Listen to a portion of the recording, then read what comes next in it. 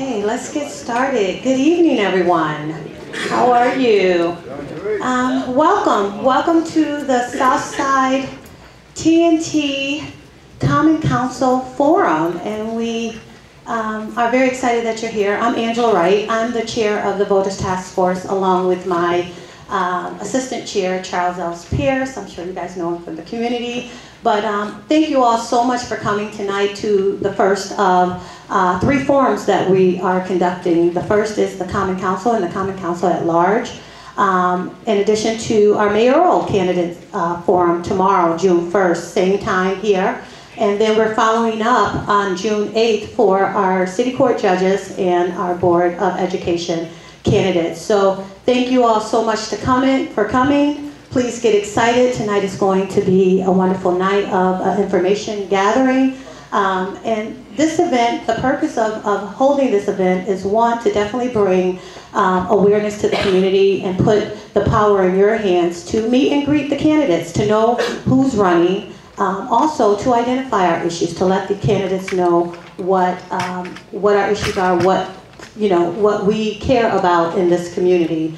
Um, and in addition, this is not a debate. This is a friendly forum, um, and we are giving the candidates a platform to hear their feedback, and we welcome you at the Q&A portion of the agenda um, to come up and, and, and have a Q&A with the candidates too, okay? So thank you all so much for coming. Again, we thank the candidates that responded and that are here, um, and that gives the, the community a chance to connect, and that's so very important. So we welcome you. Let's give ourselves a hand of applause so we can get the energy going. Thank you. So, yeah, to start off, I just want to give a couple thank yous. Um, a lot of people helped us putting these forums together. It took a whole, literally a whole community. Um, you know, community on the ground work is not easy. I'm sure our reps can attest. I'm sure our task force leaders can attest, and just even um, the folks who attend the monthly meetings and contribute and engage. So we thank you so very much for your hard work because it's important that we all work together and we collaborate because I think the main thing, um, whether we are a candidate or an elected official or a community member or a resident or a homeowner is that we care for a better life across the city of Syracuse. So if something affects us on one side, it affects us on all sides. So it's so very important that we come together and we work together and we collaborate. So we welcome that. Um, we want to definitely give a thank you to CNY Solidarity Coalition, our community task force, um, the Southside TNT. Uh, Miss Camille Oakley, please give her a hand because without her, Um, none of this would be possible. She works very hard, diligently every day. Um, I always joke that we don't get home till 8.30 at night, so our social life is out the window. That's another thing. so welcome. Thank you all so much. I'm going to hand it over to our moderator tonight, um, Tamir Taran. So welcome.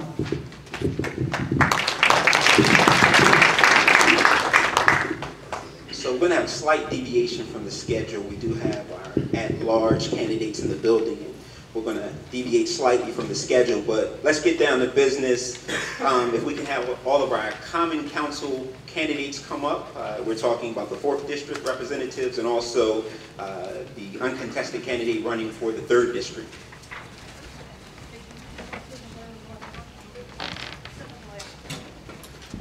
And how we'll do this is I'll give a short bio for each candidate, and I know you're here for business, so we will get started with questions shortly after that.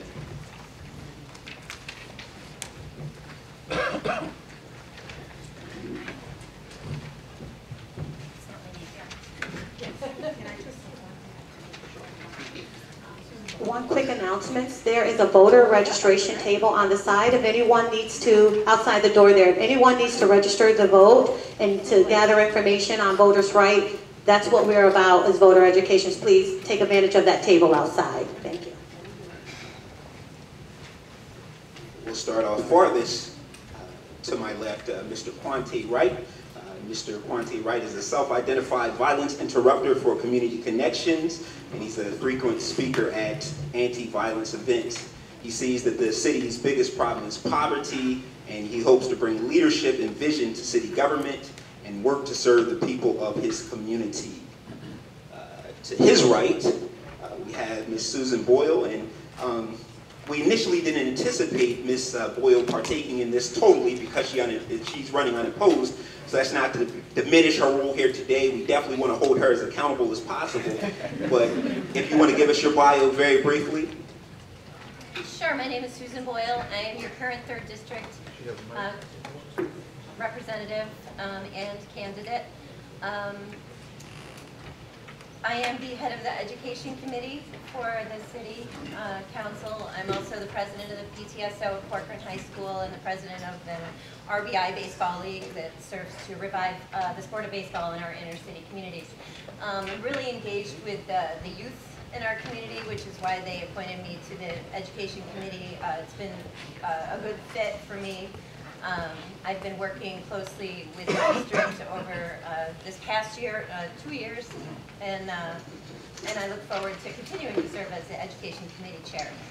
Uh, we've had some really great opportunities this year to um, to work together as a council. We've been uh, a good group.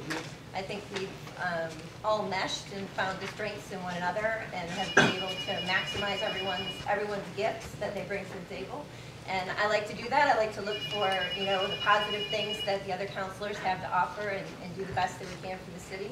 And uh, although I'm running unopposed, I'll have a bunch of new faces to work with next time uh, around, and I look forward to looking for the positive that they're going to bring to the table and creating uh, the best functioning government that we can have. All right. Next, we have Mr. Michael Green, who is a property manager for a commercial real estate company. Uh, he resides downtown after returning to Syracuse in 2016. Uh, he was in NYC, where he served as assistant vice president at the New York City Economic Development Corporation. He sees that the most important things that he can do is listen to the issues that matter and to provide a strong voice for the community in city government. To my immediate left, we have Ms. Latoya Allen. She is the CEO and founder of the Precious Lillian, Lillian Brotherhood Foundation, which is a mentoring program for youth on the South Side. Her campaign is going to be focused on three things, neighborhood preservation, crime reduction, and job creation. So without any further ado, let's get a round of applause for our candidates tonight.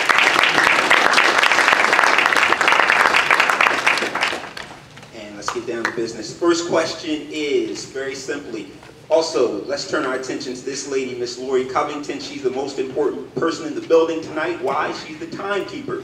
So each of your responses must be limited to one minute. Please look at Miss Covington, and you know, if we need to cut you off, we'll just have to do that because we're on a truncated timetable tonight. So thank you, Miss Covington.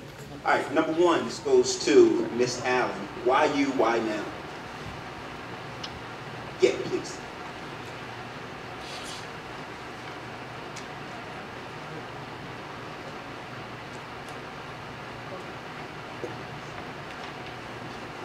Why you, why now? Uh, why me, why now? I have, for the last two years, um, I've been training for this particular position. So I've made sure that I have been involved in my community, making sure that I understand your issues. Uh, and I, I hear the question a lot of, you guys want to know, we have to know what your issues are. But for what I need people to understand, especially on the South Side, is your issue is my issue. I live on the South Side. So anything that you're going through, more than likely I'm going through it as well. And I feel as if I'm the best person to represent the 4th District uh, here in Syracuse. With the 4th District, you have, you have to be very diverse, obviously with the South Side, downtown, and the university area. Uh, I feel as if the knowledge that I've gained over the last two years puts me in the perfect position to represent everybody here in the 4th.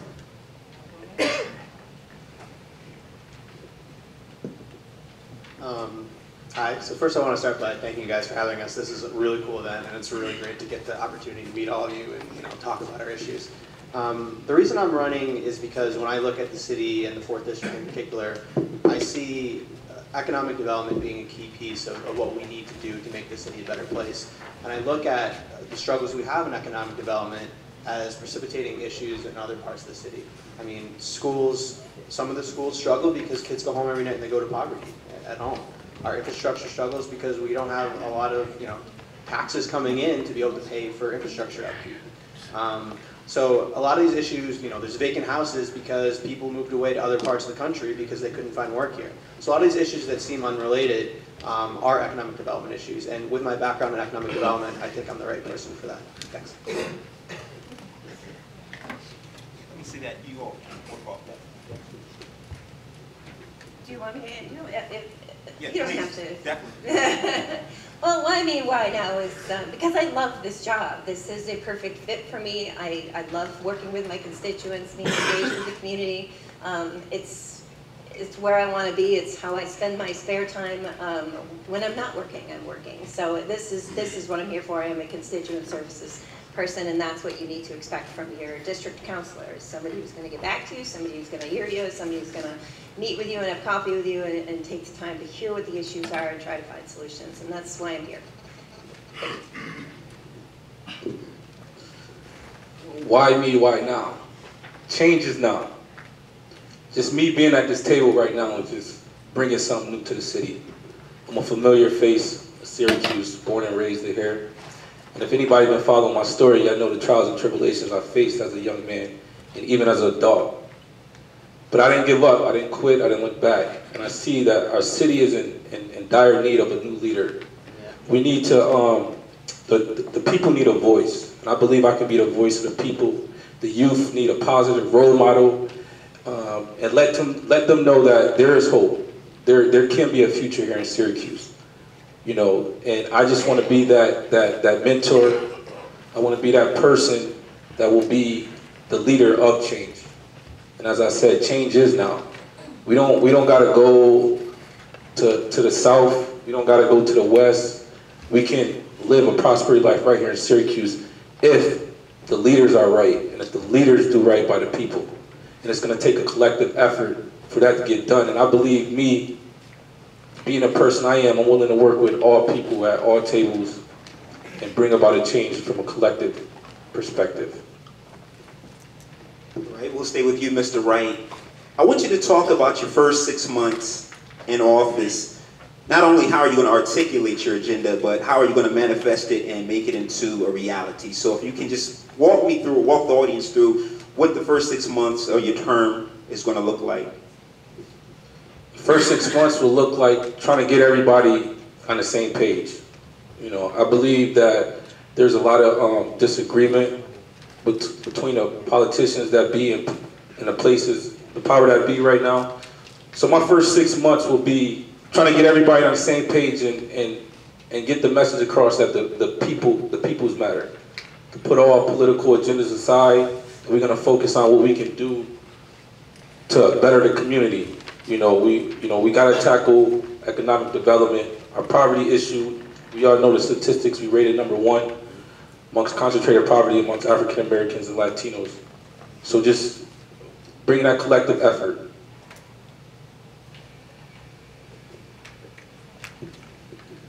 Uh, Over the course of the next six months, I will be working hard with the rest of the council to try and identify uh, new and enhance new sources of income for the city. We're in a financial crisis right now, and um, I think that we are all on the same page with that so far, as far as trying to find a solution and actively make decisions that, that are going to put us in a place to succeed. There will be hard decisions that have to be made in the next couple of years about, about the direction that our city is going to go. We need to find some revenue streams. We need to probably talk about consolidating or, uh, or uh, sharing some services. Uh, There's probably no way around that, and we need to go about that in a very uh, responsible way. We need to look very closely at what the options are. Um, We need to make some very difficult financial decisions, and I think that's how I'm going to spend the next six months uh, in office, is trying to, to get our city on track for success financially. Um, so first, I'd like to say I am a huge nerd in terms of policy and stuff like that. So I have a lot of you know ideas of things I think the city would improve upon, you know, if we were to implement them. Um, and I've been rolling them out gradually on what I've been calling Policy Fridays, where you can go on the website and greenforsyracuse.com, different policy ideas. Um, with that said, I'm cognizant of what the role of a district councilor is, and you can't implement all of these ideas initially. Um, so I think in the first six months, six months, what you're really doing is you're getting to know the community.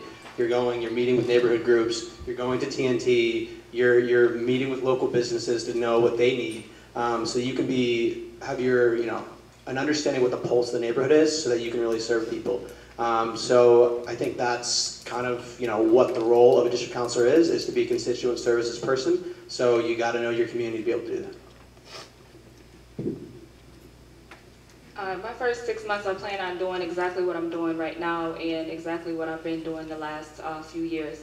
And that's making sure that I'm continuing to be active in my community, making sure that uh, I attend forums like this to where I can listen to you and I can hear your concerns.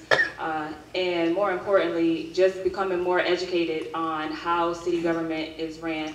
I feel like it's very important for us to be able to talk to our commissioners of each department so I will know exactly what their role is, so I'll know what my role is when I'm working with them to make sure that you get exactly what it is that you need, uh, since you are the ones that will put me in that seat. So I will continue to educate myself, make sure that I'm available to you so I can listen to your concerns, and make sure that you know what I'm working on while I'm downtown on your behalf.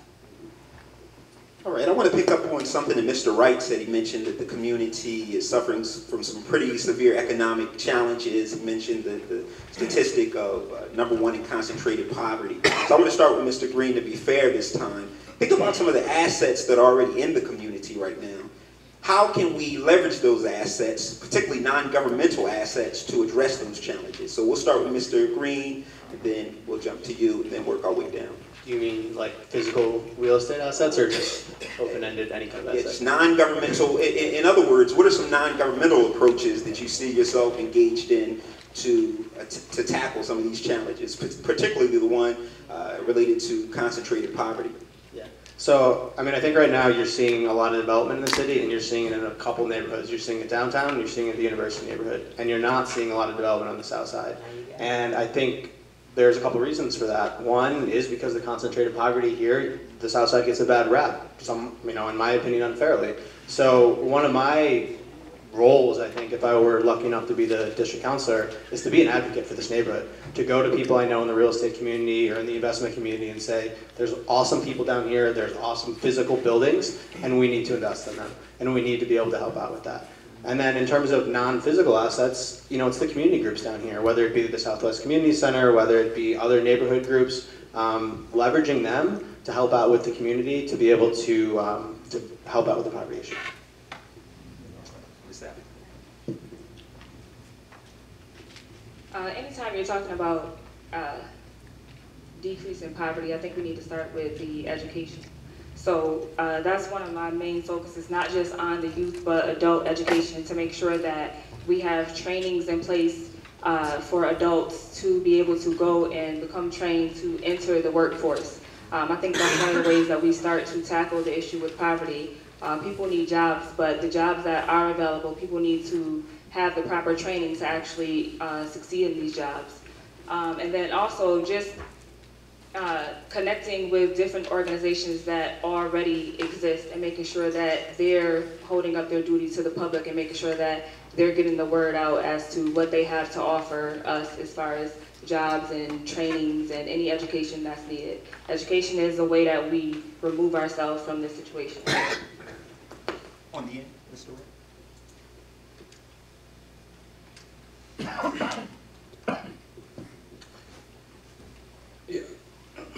Yeah, I believe that the way out of poverty is education. You know, just speaking from my past experience, that's what helped me get past the things that I've been facing. So education and actually, you know, not just education in a formal sense, but entrepreneurship. I believe we need to grow more small businesses within our community, especially if you go down South Salina and you get, you know, farther south on the south side, it looks desolate. The housing, there's a lot of abandoned houses. I currently work as a real estate investor, so I got some leeway in trying to rehab some of these abandoned properties, which will give, I believe, will give na- the neighbors uh, a more sense of responsibility and holding up our community responsible for the things that, that take place in our community. And also, you know, just overall, just, you know, coming together as a community and everybody working together to pull us up out of this, this strut we in. Um, looking at the assets um, non-political assets in the city of Syracuse, I would have to start with the Syracuse City School District. Um, I think it gets a bad rap sometimes. We always hear all the bad news. We rarely hear the good news. I am aware of the good news. Uh, we have 21 CTE programs, career and technology education programs that blow away what's offered in the suburbs. If you live in the city of Syracuse, you get free college at Syracuse University, and I know that now our state offers free tuition uh, for, for some people, but our Say Yes program is much more expansive than what's being offered in the state right now, and still leaves us in a very attractive place. Um, you cannot beat the historic architecture and the historic parks in the city of Syracuse. Our assets are, are immeasurable. We have our yard debris picked up twice a year. Sometimes it's not always when we want it. But, uh, you know, we, we do have incredible services in the city of Syracuse. So to capitalize on those things, I think that we are all challenged with making sure that the, the good message gets out there. You know, uh, the media spends a lot of time trying to, to get hits on their website for promoting some of the negative things about the city of Syracuse. And I think that we can all work hard, um, as I have through the Cougar Pride campaign at Corcoran High School and through the Syracuse City School District, to, to try to promote and enhance those positive uh, programming. I want to piggyback on something that you just said. You mentioned the twice a year yard debris pickup. And let's take this out of the rarefied air and bring it down to earth. Constituent calls you when you're in office and states that um, a local business, we'll say in this case, Family Dollar, uh, they're not cleaning up their property. How would you address this? We'll start. We'll start on the end. I'm sorry, Mr. Wright. Well, being a common council, you're, you're, you have the um, opportunity to reach out to, to the city trash people. And I guess you, the best way to, to address that issue is to, to go speak with the exact family dollar in the area that they're speaking of. And call it a, a forum, you know, bring the city people that got the complaints in. That's a minute.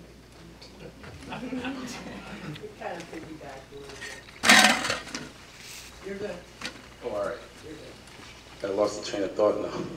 Threw me off. But yeah, so that's that's pretty much you know just call a forum and have individuals come in and try to resolve the issue. Mr. Green next, please.